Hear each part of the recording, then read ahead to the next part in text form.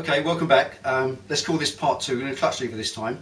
The clutch is an interesting one. There's just a couple of little bits of information you might need about setting the tension of the clutch. This particular one's too tight. Um, it's been set too tight by whoever had the bike before. So we're going to take the same one, take the clutch lever off, put the new billet adjustable one on, and set the adjustment. So there we go. Let's have a look. Coming quick. So again, you've got this lever pin. We took the mirror out of the way already. You've got this little thingy bob underneath, which is just a circlip. Again, little tiny circlip. Put a screwdriver under one tab, another little one under another, and just lever it out. There we go. And it's such a tiny circlip, you do it with your fingers. All right, that's it. You can just work a knack on that. But as you can see, these sort of things just work out for yourself. It's not difficult. Push the pin out. That's your main pin. Now before we actually remove the lever, that's not going anywhere because it's held in by this. We need to take that back to front. So that brings us down to here. All we need to do is adjust the bottle screw. So there's a clip here that holds all your cableage and so on on. There's another one down there. Just pull them off by hand. That's all they are. And here you've got your clutch cable. Okay, so lift that up because it's bigger at the bottom than at the top. And there's your adjust the bottle screw there. You need for this a half inch and a 9 16th open end spanner. Okay, undo the jam nut or lock nut. Once that's undone, take the jam nut right up out of the way because you want to take all of the slack of the cable. Bring that thread and close it. And what you've done is shorten, this shortens the length of the outer part of the cable. And as you shorten the length, you effectively make the inner core longer compared to the outer casing. So. Right. Now what that does up here, that then produces slack like so. So then you can bring this out here and out comes your lever. That's simple as that. And then that lever will come. You've got a plastic wrist pin or drop pin and that comes clean out. So we're going to store that pin in there. Right, we won't, we'll put it over here. change of plan and that's ready to change. Simple as that. Now before we do anything, you see on the back of this, just want to talk about this. You know your Japanese bikes. You know you get this business on your old 1980s Jap bikes where the levers got all raggedy and there was a lot of welly space around in there. Now the reason that Harley ones don't, if they've got a very clever little doodad in there, is this. If you can see, it's a little plastic thingy bob which should use a proper screwdriver for it. Might be loose enough to come off.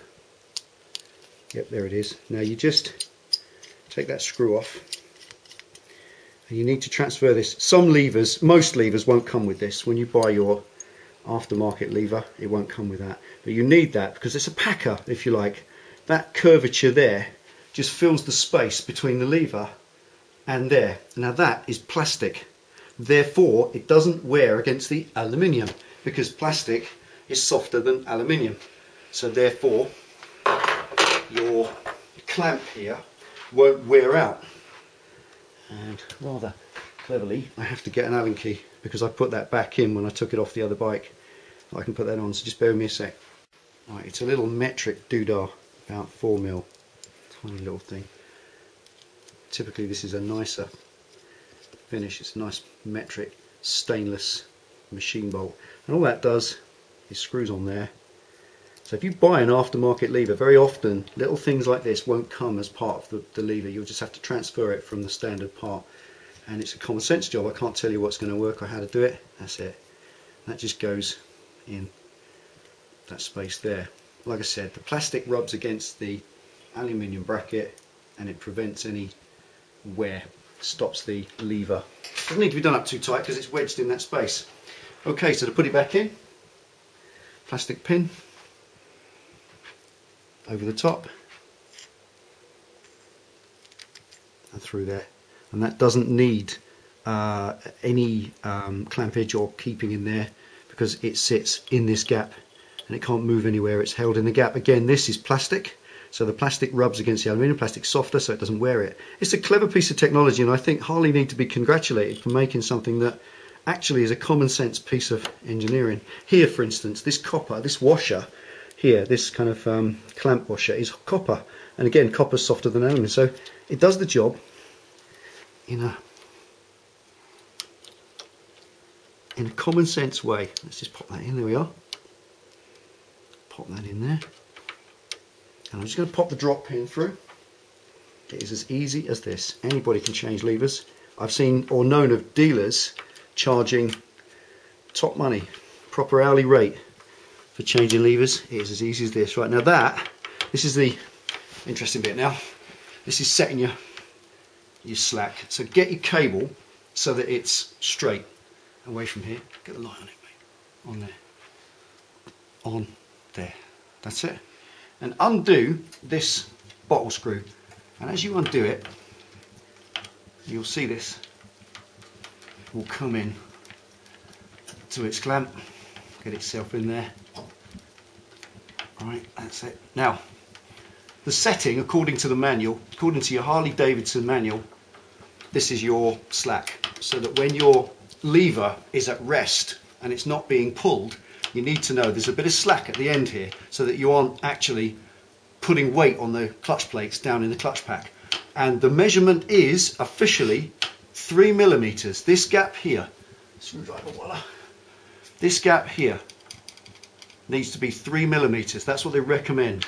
That allows for heat expansion um, and contraction of cold weather. I have a little bit less than that. I think two, perhaps a bit less. I don't know. You can always, there we go, get it so it's tight. So what I tend to do is like that. There we go. Now that there is about three mil. Perhaps a little bit less. And that's set. There we are.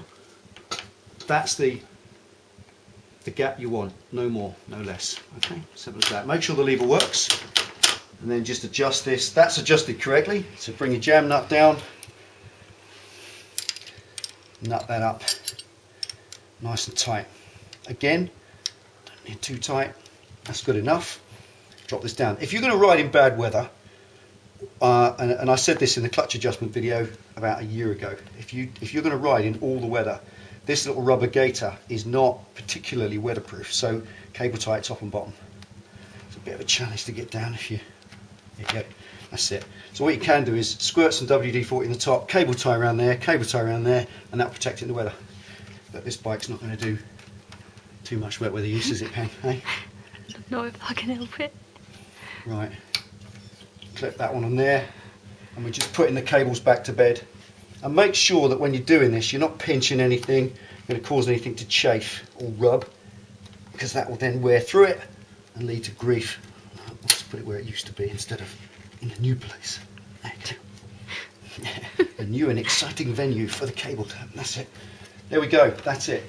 Last job. A little clip. That's it. I'll put this in. This is a little fiddly. But you'll get feel for this sort of thing in the end. Just